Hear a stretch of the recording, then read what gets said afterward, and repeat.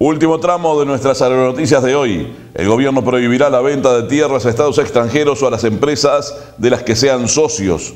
A ser consultado respecto al proyecto de ley que fue presentado en el Parlamento por el diputado socialista Hermes Toledo, el ministro Tabaré Agarre manifestó su apoyo ante la iniciativa que a su entender defiende la soberanía territorial y alimentaria del Uruguay.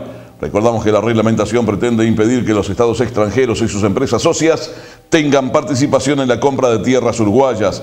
Como contrapartida se promueve la inversión desde el ámbito nacional, alentando a que las AFAPs adquieran e inviertan en la compra de tierras. Cabe agregar que el proyecto ya cuenta con el respaldo del presidente de la República, quien en más de una ocasión advirtió que los estados más poderosos están invirtiendo sumas millonarias en la compra de tierras en otros países.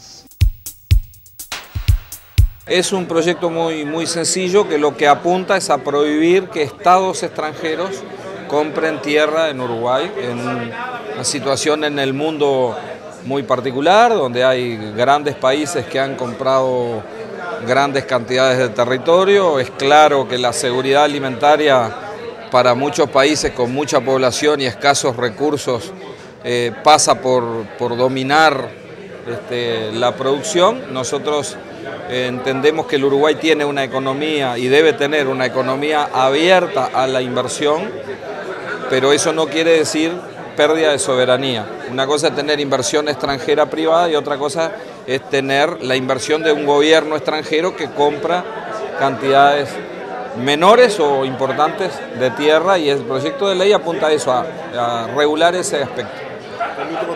¿El último temporal tuvo algún daño en el sector agropecuario?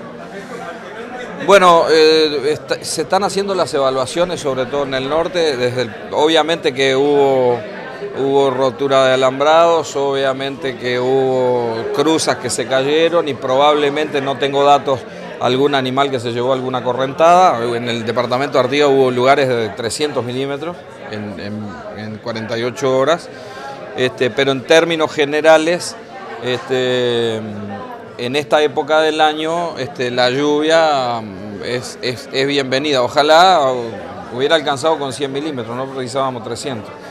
Este, hay probablemente algunos daños en algunos cultivos de arroz, hay algunos cultivos de sorgo que se pueden haber afectado, pero todavía no tenemos, los datos, este, es prematuro y en todo caso es una época del año donde si esa lluvia, en vez de darse en el norte, se hubiera dado en el litoral sur, hubiera tenido un efecto importante en la producción de trigo. Este, desde el punto de vista de, la mirada del país, este, bueno, menos mal que se dio fuera de la zona triguera.